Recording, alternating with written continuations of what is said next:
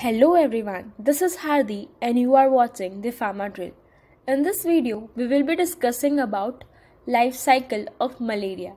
When we think about malaria, the first thing that comes to our mind is mosquito. But you would be surprised to know that mosquitoes do not cause malaria but just spread it. Malaria is caused by a protozoan called Plasmodium. There are various species that causes the malaria. For example, Plasmodium vivax, Plasmodium malaria, Plasmodium falciparum are the various species that causes malaria in human.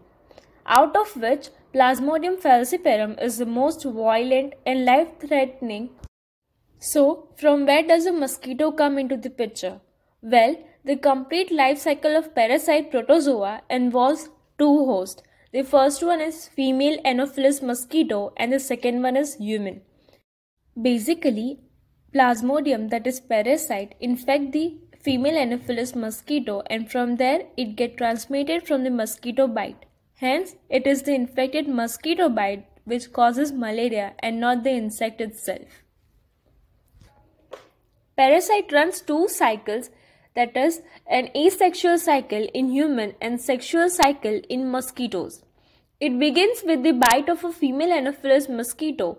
The saliva of this infected female Anopheles mosquito contains sporozoites, which is the parasite. When the female infected mosquito bites the human, the sporozoites are transferred into the bloodstream of human from saliva of the mosquito. This ingested sporozoites rapidly reaches to the liver parenchymal cells and develop a primary schizonts within 8 to 21 days. And inside the liver, they reproduce asexually to form merozoites. And they are burst into the bloodstream. This phase is known as erythrocytic stage. During this stage, the subject remains symptoms free. Now, in the bloodstream, they invade into the RBC and begin the erythrocytic cycle. And once inside the RBC, these merozoites form a ring-like structure called trophozoites. Trophozoites have two phases.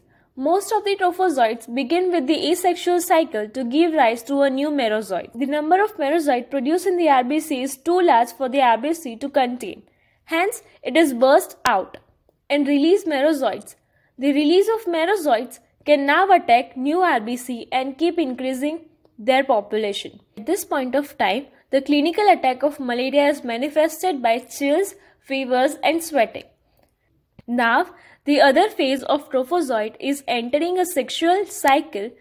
With this, the trophozoite is differentiated into two gametocytes, namely male and female gametocyte.